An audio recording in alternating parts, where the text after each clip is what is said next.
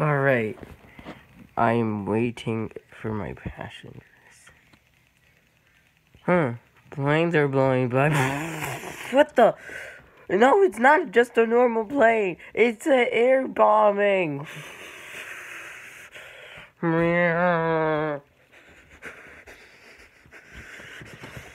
Why did this feel like a power plant exploded?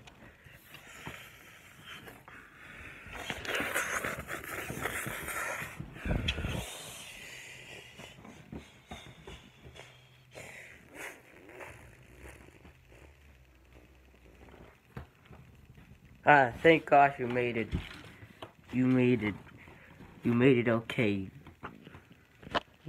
Larry. Thanks, sir.